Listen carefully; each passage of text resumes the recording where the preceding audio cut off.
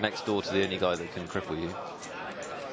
Actually, I should make a correction on something I was saying yesterday. I thought that Davide Kitai made the final table of this event last year. 11th, he actually right? went out in 11th. Yeah, he didn't quite make the final table. We'd seen him for so much of the penultimate day on the feature table. So clearly he's already gone three better at least from It's his still, a, position it's last still an absolutely fantastic back-to-back achievement. It's, you know, the odds against doing that are large. Um, Guys, so sorry about that. so yeah, and uh, well, Benjamin Kang on EPT Live yesterday was telling us all how tight Davide Kitai plays, and he's known to play tight, which is interesting.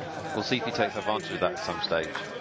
So it's a really great thing in poker where you have a reputation as something.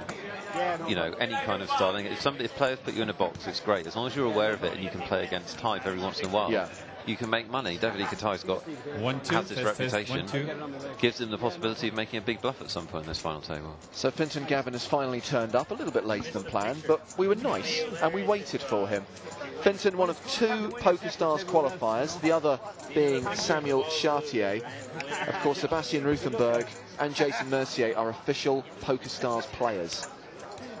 And we saw a brief shot of the money there, the 1.36 million Yum. in an attache case, which will be handcuffed to the wrist of the winner.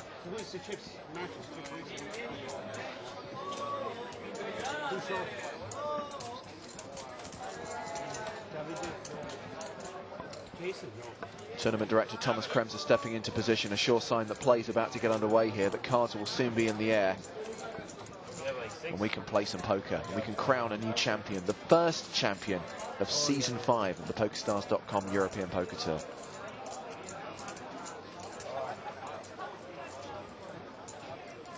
Just a reminder that on EPT Live, we don't see the players' whole cards because this is literally live action. We're seeing every single hand that these guys play. Obviously, if the hand is played to conclusion, if there's a showdown, we can see what they've got. But otherwise, we can but speculate, we can but guess. But it gives an interesting edge to the analysis.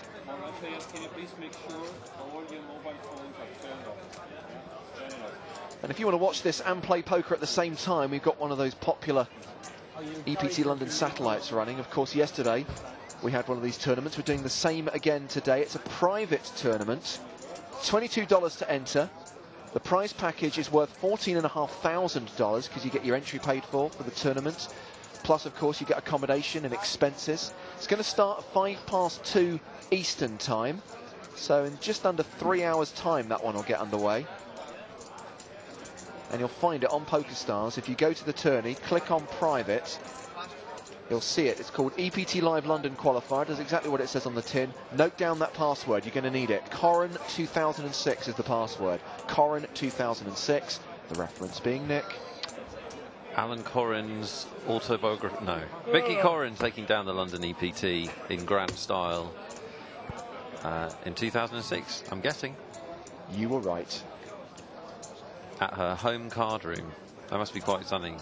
Plays there three or four times a week, pops down one day, wins an EPT. She won half a million pounds in 2006, and as Vicky jokes, most of it went back into the cash games at the Vic.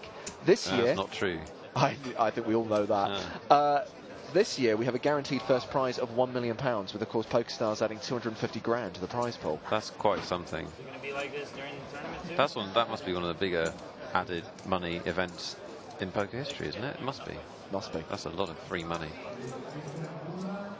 Roll up, roll up. Well, it's a fantastic package to win for just $22. I mean, you do have to listen to us, so it's not it's not completely without a catch. Well, from the emails we receive, I think most people find it moderately entertaining, or at least bearable. Yeah, well, that's the that's the bar we've set ourselves. Nuts at eptlive.com is the email address. Get your predictions in. All predictions that arrive after the first elimination are not valid for Nick's special correct prediction prize. do we make predictions, James, or do we need to stay out of that game?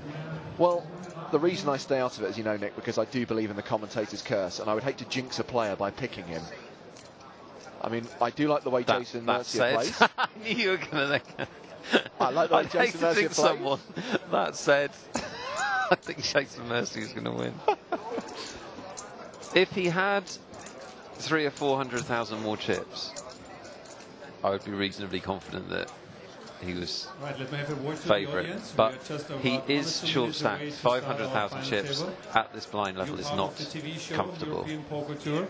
Yeah, of course, when we resume, blinds will be atmosphere, it makes a 15 and 30,000. So you're encouraged to shout for your favorite. Just pick one of your players which you root for. You want him to win.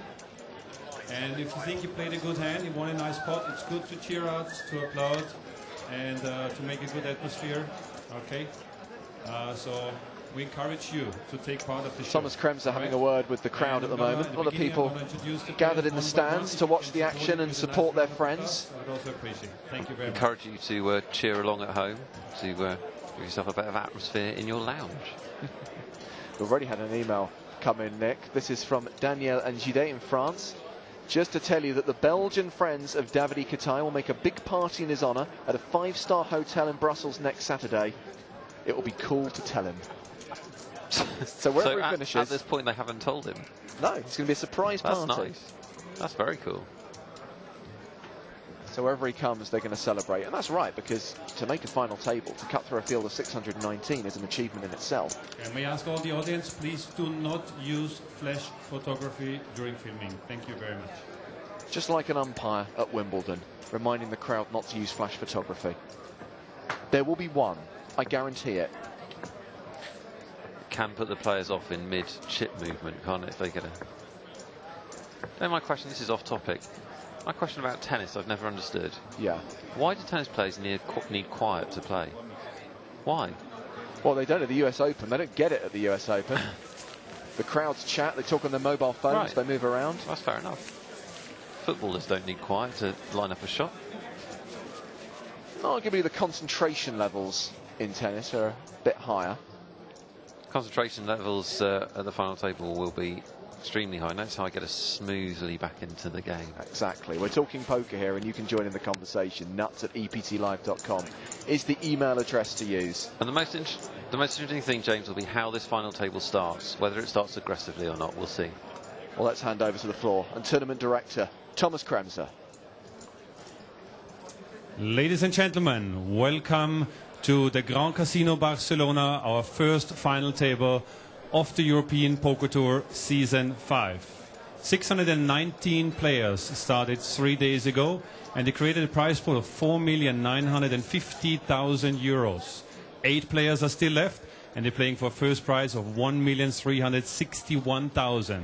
Let me introduce the final table players. Starting with the player in seat number one. He is the chip leader. He's from Denmark with 1,229,000. Let's welcome with a nice round of applause, Martin Nielsen.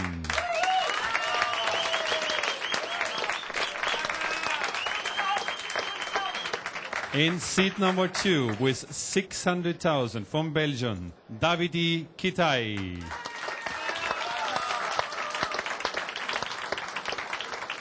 Next to him in seat number three from Germany, he has 734,000. Let's welcome Dren Ukkela. In seat number four, we have a previous winner of the last year in season four in Sanremo. 526,000 he has to start this final table from the United States. Welcome, Jason Mercier.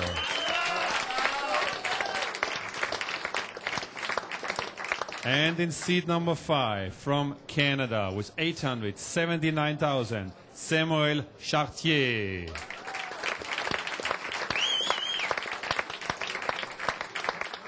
And in seat number six with 359,000 from Italy, Daniele Mazzia.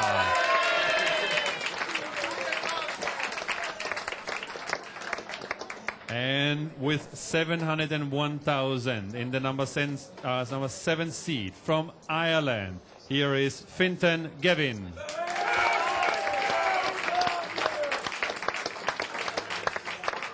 And the player with the second best chips to start the final table. He also won a World Series bracelet this year from Germany with 1,204,000. Welcome, Sebastian Ruthenberg.